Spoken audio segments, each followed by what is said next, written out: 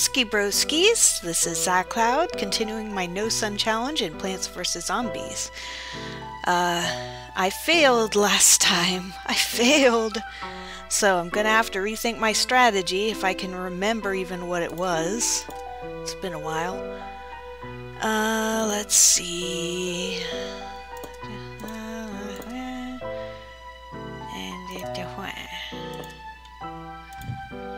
Okay. Okay, this time I think what I'm going to do is, uh, you know, I'll respond to the land as much as I need to, but I will ahead of time start really reinforcing the water lane, because that was what gave me the most trouble, and I cannot be saved by the lawnmowers. Okay, first let this rascal get to uh, about here instead of here. Because then I can get a little more sun first. And still will defeat him in time.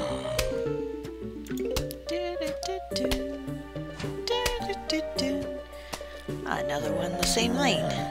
Weird.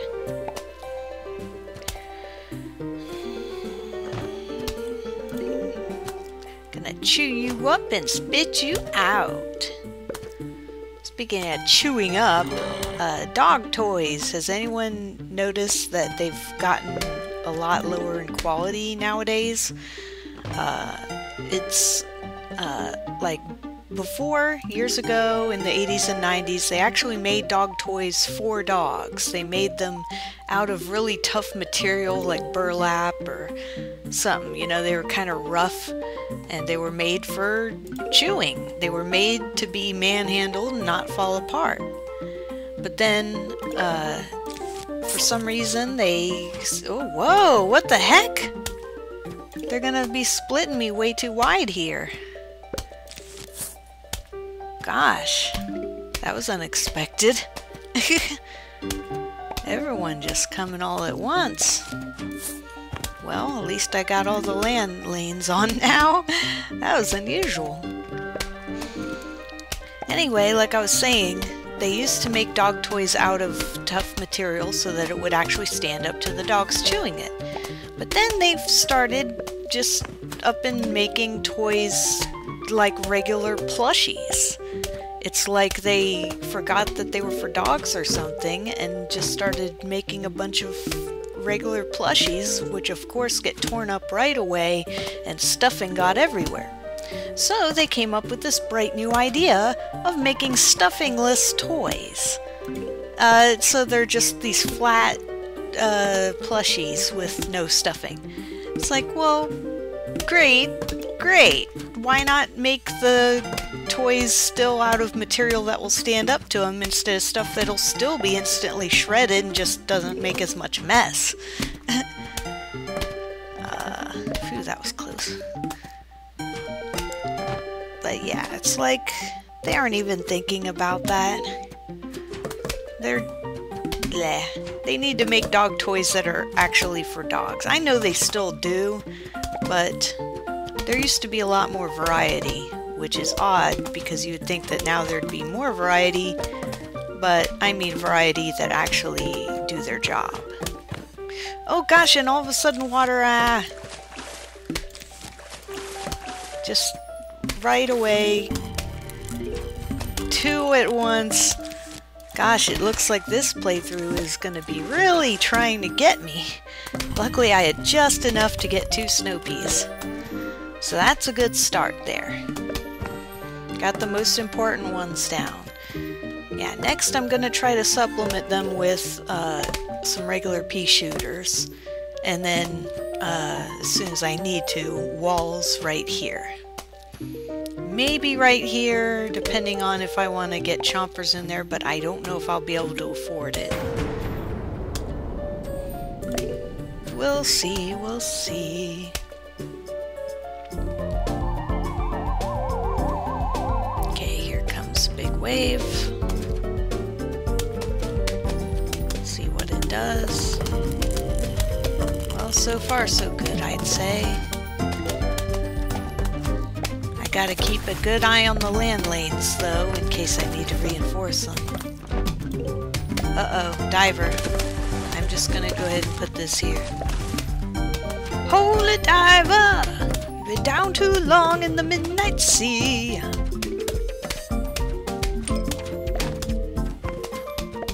Gosh, uh, I that song, I love that song, but I have no idea what it means. There's been some like, you know, theories that it's uh, about Jesus diving down from heaven, or about Satan and his downfall from heaven, or I don't know. It's uh, pretty ambiguous and doesn't make a whole lot of sense on its own, but it's a great song anyway. I'll gladly sing along with it even if I have no idea what it means.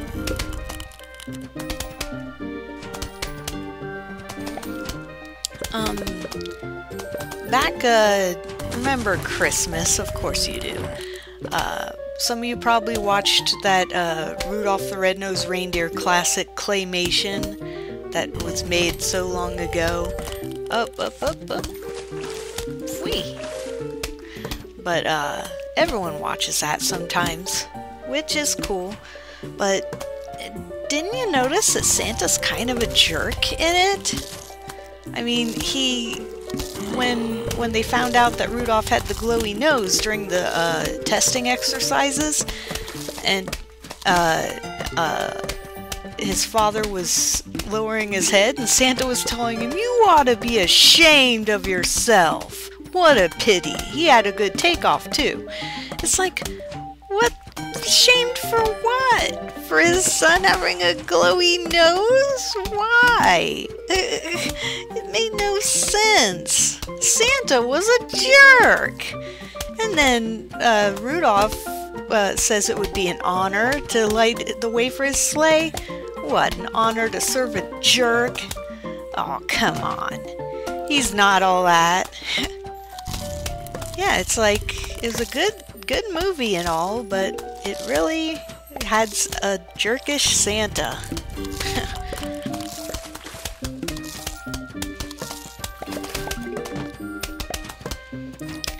ah, the zombies and their floaties. Too bad they were that smart, even though for not having brains, they're doing a pretty good job trying to infiltrate.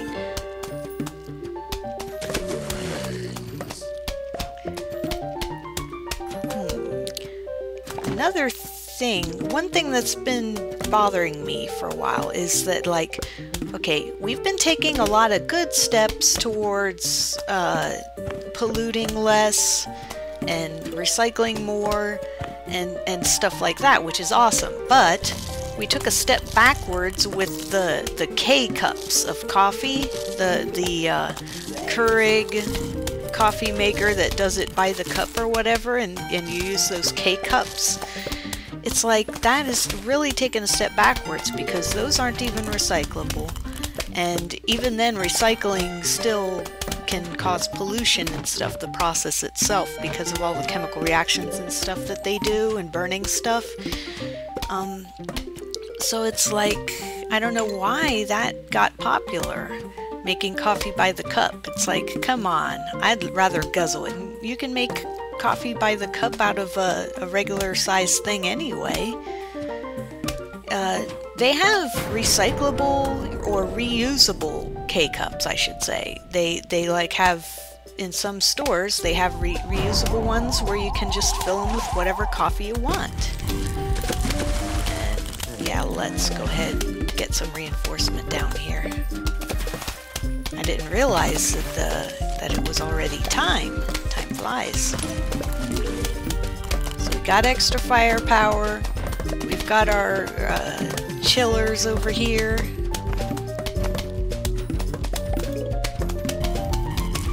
How confident are you that we can survive? I think we can.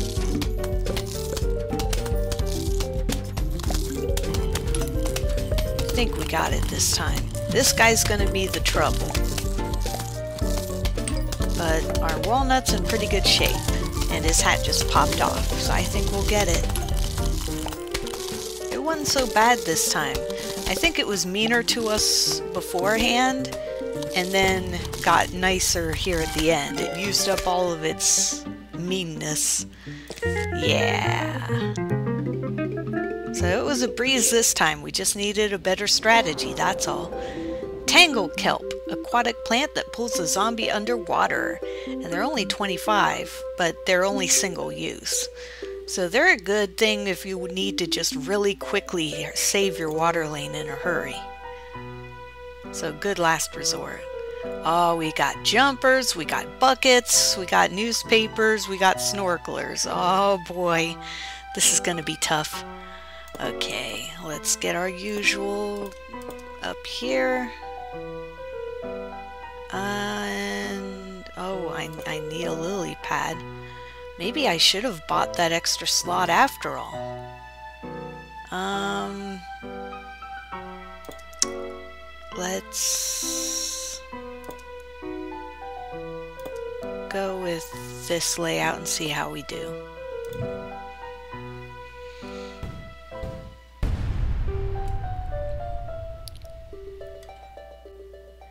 We are just here waiting.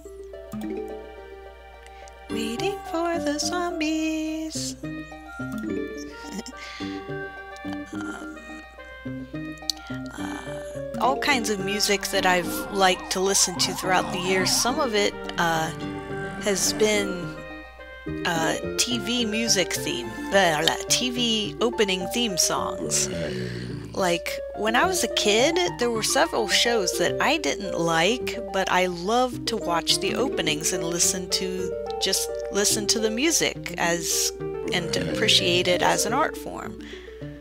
Like uh, Murder She Wrote, Star Trek, the the various Star Treks, uh, Measure Up, the educational show. Like sometimes I watched it, but usually I just came to listen to the theme song uh, MASH, A Team, Knight Rider, uh, some other ones I can't remember. Some more like adult-oriented shows that I that I didn't have any interest in.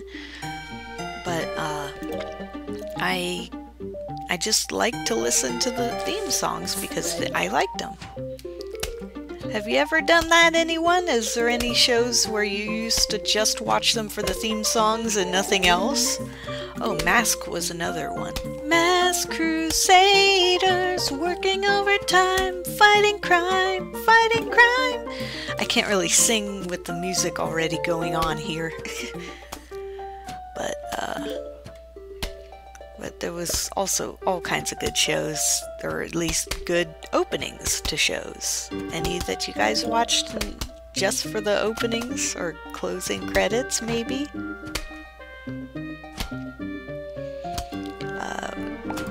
Speaking of nostalgia, it's uh, it's been hard for me to find old episodes of Price is Right.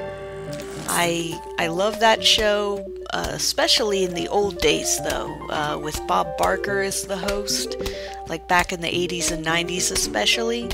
That era I liked because it had the music and, and the old instruments and stuff before they started like remixing and changing the songs and stuff. I just like the relaxing feel of, of the whole atmosphere of the show. So it was like my interest wasn't just in the show itself, but in the atmosphere that it gave off. And uh, and now it's like you can find so many things online. You can get watch so many things on Netflix, but I don't think you can really find the old Price is Right episodes, except I found some of them, uh, phew. I found some of them online, like TV Lover, TV Lover, some, some dude named something, I forget. Um, and, and a couple other dudes on YouTube, although it always gets taken down all the time.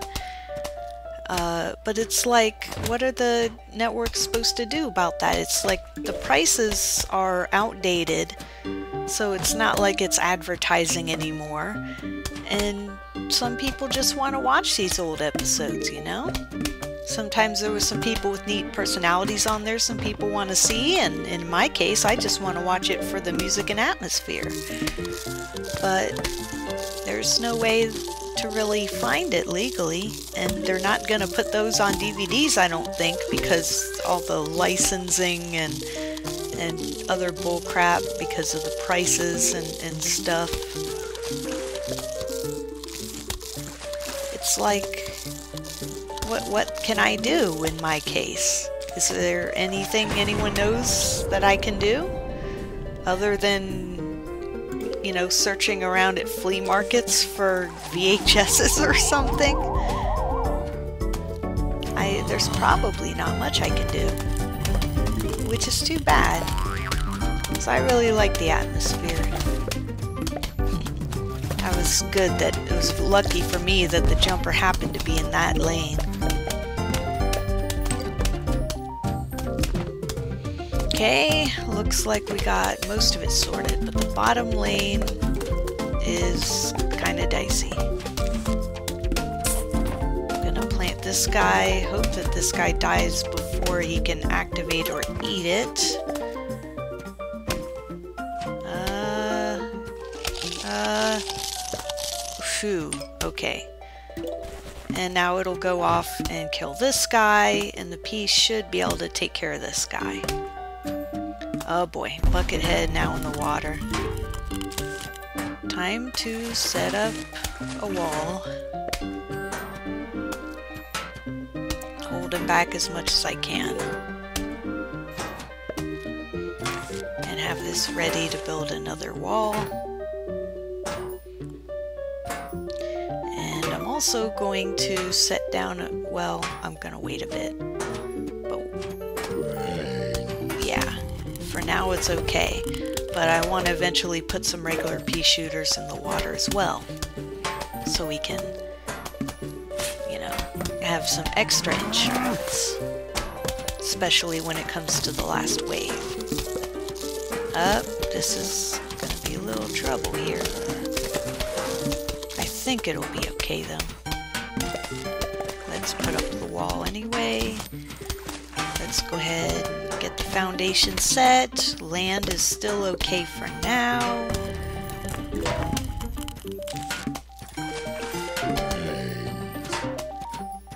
Man. Yeah, let's go ahead and get some reinforcement here. Try to take this guy out. Because this guy will take a while to kill too. I love how frantically and angrily he eats. Don't love it for my nuts' sake, but, uh, but it's just kind of comical. Okay, make you jump. Boing. Oh boy, we've got a landlubber here. Uh, hmm, I need more than this guy. I might just use a squash on him.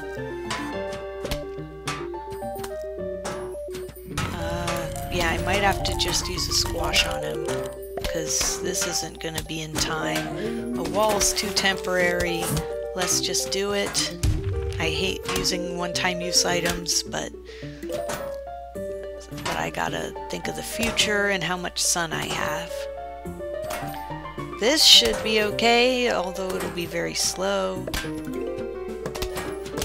But let's go ahead and reinforce. Okay, so far so good. Now I can put down an extra pea if I need to, but I'd rather save up for some snow peas.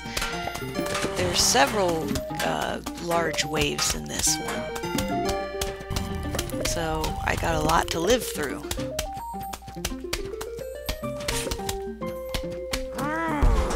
Water is about the best I can get it. Land is what I'm going to have to watch out for.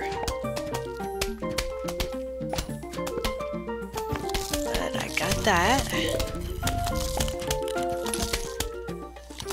Okay, I got enough to afford a snow pea, but Let's wait and see where it's needed, if at all. I might end up just putting up a bunch of walls. Let's see what this big wave looks like.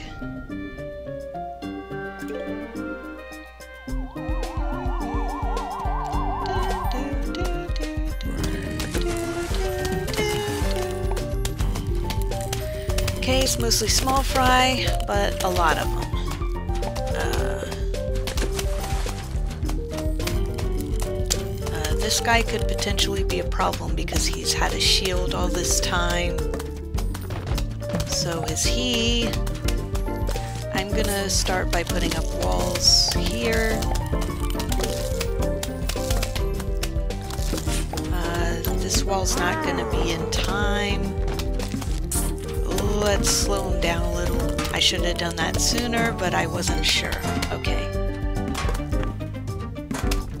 Gonna need a either another wall or something. Let's use the cheaper option.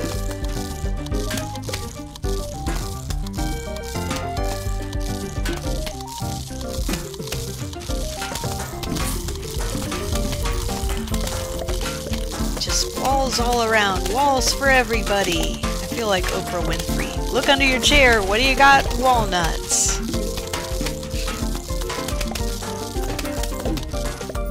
Oh man, that wall didn't last as long as I thought. Sure got gnarled. Oh boy. Uh, I'm gonna wait probably use a squash on these guys. The reason I'm waiting is because if I take them out too soon, then this lane will immediately be refilled by more zombies behind them. So by waiting, I will lower the amount of aggressives. I should have done something about this guy sooner. Let's go ahead and do this here.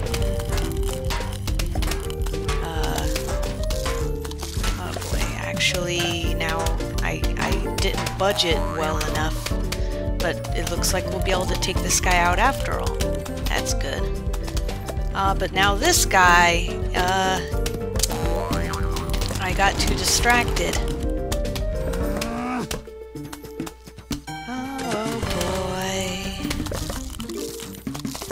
oh boy. Yeah, I should have yeah, paid more attention. Like I said, though, I'm not the sharpest crayon in the Happy Meal.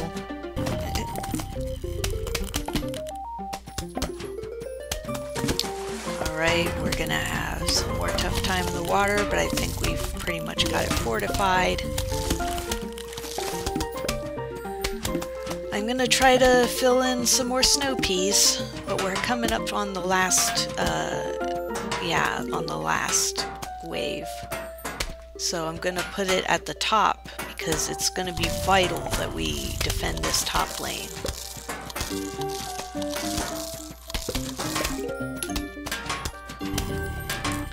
Oh boy. Okay. Uh, depending on what happens here, they should be okay. This one, not so much. Uh, okay, okay.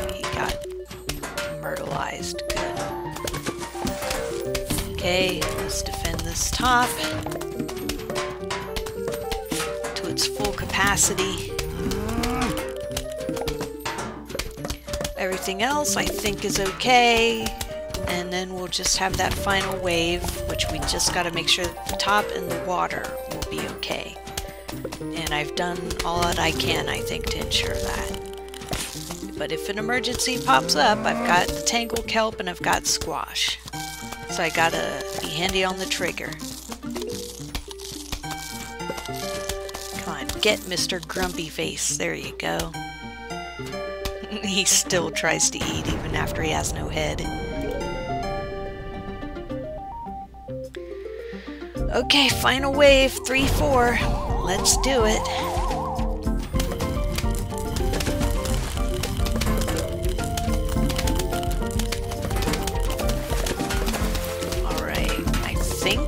Top lane will be okay. Mostly because of the firepower and the wall. The water, I think will be okay too, but the bot, no, the bottom lane, I don't know. It, it could be bad. Aw, I was hoping he would take out the uh, cone heads. See, I, that was why I planted it behind them. Might lose this and that's okay. I gotta, okay, phew, good job. Good job, little trooper.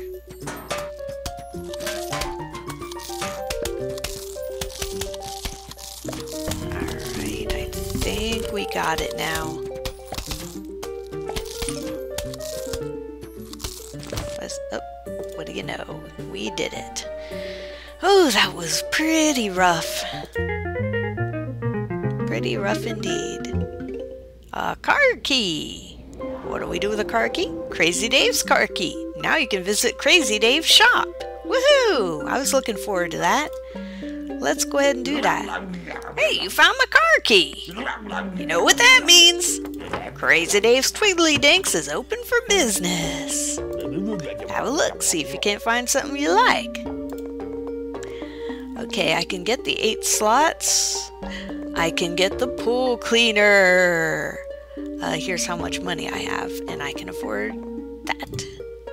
And I can afford that. Yeah! Phew! This pool cleaner will help so much. It's gonna revolutionize defense of my house. So now the pool lanes won't be such a, a, a stressful situation. Now the rake takes out the first zombie that steps on it. It lasts three levels. The thing is though, I timed it. The zombie that comes out and gets hit by the rake is earlier than normal.